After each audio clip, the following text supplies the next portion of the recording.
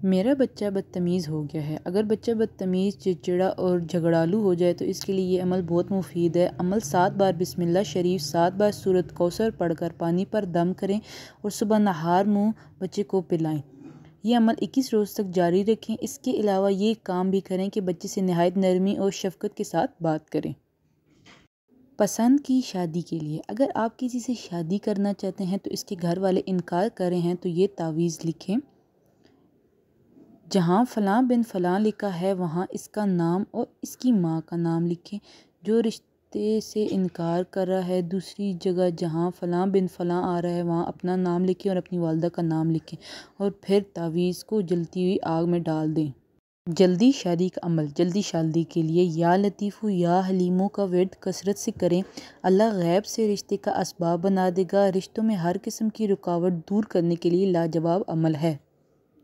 हाजत पूरी हो बिस्मिल्लाहिर्रहमानिर्रहीम या हय्यो या क़य्यूम बिहक़ ला इलाहा इल्ला अंत सुब्हानक इन्नी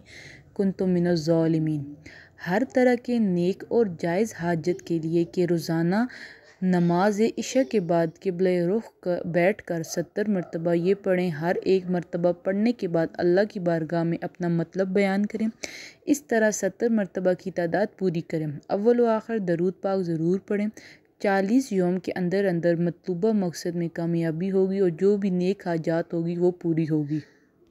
जिस मकसद के लिए दुआ करें, कबूल कबूल कबूल। जो शख्स रात को सोने से पहले अव्वल, आखिर सात मरतबा दरूज शरीफ और एक हज़ार मरतबा या मुंतकिमु पढ़े और फिर जिस काम के लिए दुआ करे, अल्लाह ताला कबूल फरमाएँगे।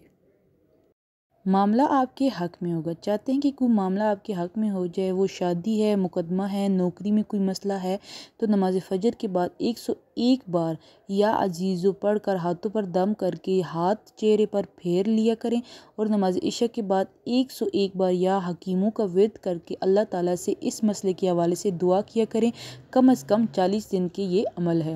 और आपको हमारी अगर वीडियो पसंद आई होती हैं तो हमारी वीडियो को लाइक्स और सब्सक्राइब ज़रूर किया करें।